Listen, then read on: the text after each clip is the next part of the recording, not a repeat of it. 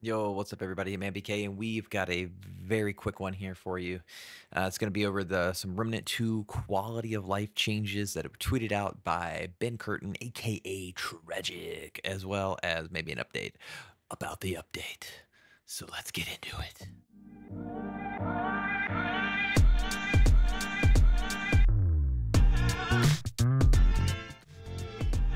Right. So don't forget, y'all, if you liking this and you enjoy my content and you're just like, wow, this guy's actually kind of cool. I think I want to hang out with him some more. You should join the Discord, join the Public Casual Club.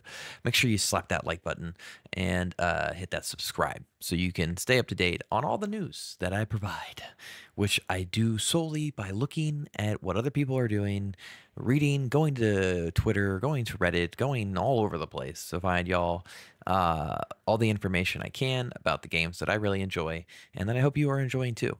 And one of those games, of course, is Remnant 2. And Ben last night, about 12 hours ago, put out this amazing tweet that was that said, uh, "Wally is all about quality of life in Remnant 2. You can start new characters with any unlocked archetype." which we knew.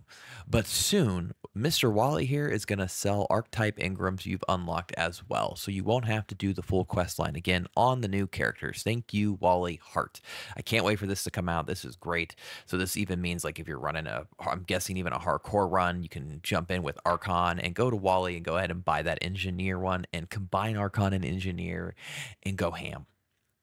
I think this is an incredible quality of life change on top of the ones they've already added. They are clearly hard at work putting putting out good QOL changes based on immediate community feedback. Uh, and I think this one's a huge W because having to redo those quests every time you re-roll a campaign is a little, mm, you know, kind of lim- uh, removes a little bit of the fun since you already did the thing. You don't really want to have to do it again. Um, so I think this is great. Uh, also, the PlayStation 5 update did go out. I think it went out yesterday, both the day before yesterday, and they mentioned that they are wrapping up uh, getting what needs to be get in to the Xbox One to get that out to Xbox for approval. So hopefully, uh, all my Xbox folks will have their update uh, within the week. Um, that's really all I have for this video. Um, if I see anything else coming out, I'll let you know. This is hilarious. Glad is gonna do a Remnant 2 Hell run with no upgrades, and Ben said, "Good luck." I've honestly really been enjoying this. Um, I've been playing it some off stream, obviously, because I've, I've had some other things that we've been doing here. But uh, if there's anything you want to see or you want me to cover, please let me know. Sound off in the comments. Um, and thanks again for hanging out and checking out my videos.